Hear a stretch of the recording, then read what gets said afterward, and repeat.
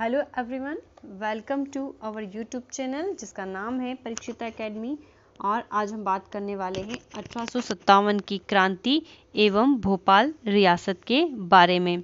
ये टॉपिक क्यों इम्पोर्टेंट है हम देखते हैं तो एमपीपीएससी या एम पी पुलिस या या जो व्यापम की जितनी भी एग्ज़ाम्स होती है, उसमें इस टॉपिक से रिलेटेड क्वेश्चंस पूछा जा सकता है और पूछा गया है। तो आइए हम बात करते हैं कि क्या और किस प्रकार से रहा तो हम देखते हैं। संपूर्ण भारत में जब अठारह सौ सत्तावन की क्रांति प्रारंभ हो रही थी, ठीक है तो उस समय क्या था कि भोपाल रियासत पर भी इसका प्रत्यक्ष और अप्रत्यक्ष रूप से प्रभाव पड़ा। और जो भोपाल का शासक वर्ग था, वो किसके साइड था? वो अंग्रेज़ों के साइड था। अंग्रेज़ी पक्ष में था और जो आम जनता थी, जिसमें हमें स्पेशल याद रखना है फाजिल मोहम्मद खान आदिल मोहम्मद खान एवं आमिल खान। इन्होंने अठारह की क्रांति का संचालन किया। अर्थात ये क्या थे? ये क्रांतिकारी थे। ठीक है? अब हम बात करें अगर आगे तो अठारह की क्रांति का जो प्रारंभ है, वो जो है भोपाल रियासत में सीहोर के सैनिक छावनी से हुआ था।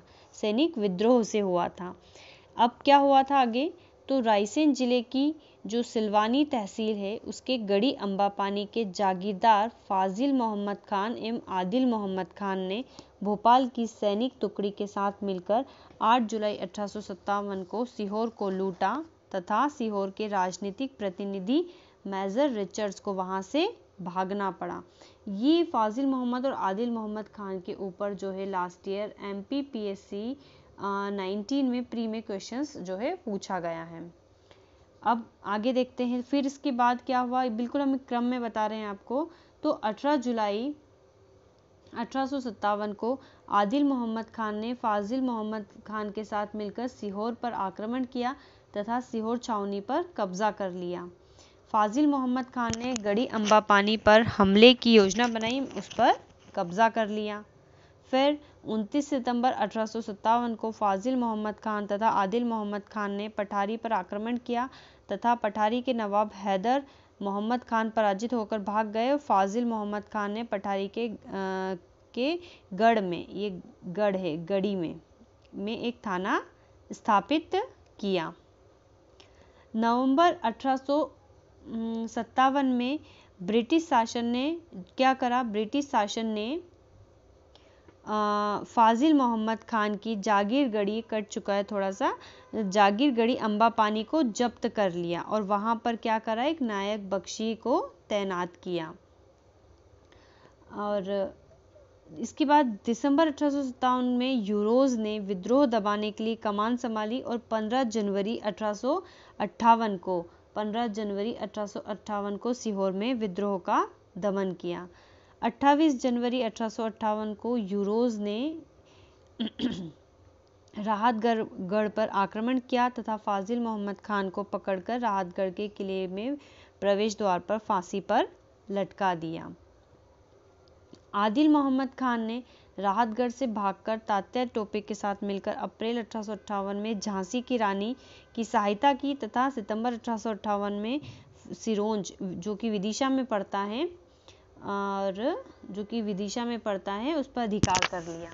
29 अप्रैल अठारह को, उनसाठ को आदिल मोहम्मद खान ने अमानत खान के साथ मिलकर भोपाल के नायक बख्शी से युद्ध किया था। 15 मई अठारह को पिपरिया के किले पर कब्जा कर लिया।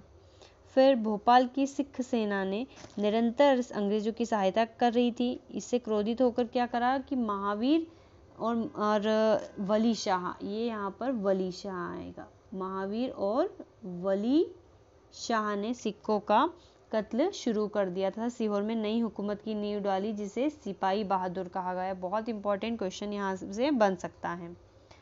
और इसके बाद हम बात करें तो प्रशासन हेतु एक काउंसिल व न्यायालय की स्थापना की गई, जिसे महावीर काउंसिल का नाम दिया गया, जिसे महावीर, यहाँ पर काउंसिल आएगा। महावीर जो है काउंसिल का नाम दिया गया।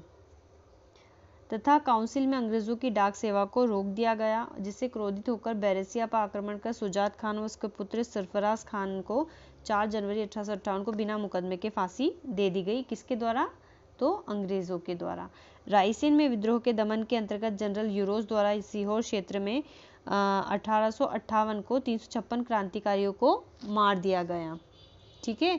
और तो यहाँ पर हमने अठारह सौ सत्तावन की क्रांति और भोपाल रियासत का जो क्रमानुसार है क्या क्या घटना हुई, उसके बारे में बात करी और इसमें यहाँ पर सबसे इंपॉर्टेंट एक और व्यक्ति है, कुंवर चैन सिंह। हालाँकि नरसिंहगढ़ के रियासत के राजकुमार थे और इन्होंने भी अठारह सौ सॉरी अठारह सौ उसके पहले ही थे ये। इनके बारे में हम जो है नेक्स्ट वीडियो में देखेंगे। सो so गाइस अगर आपको हमारा वीडियो पसंद आए तो प्लीज़ हमारे चैनल को लाइक सब्सक्राइब और शेयर करना ना भूलें। Thanks for watching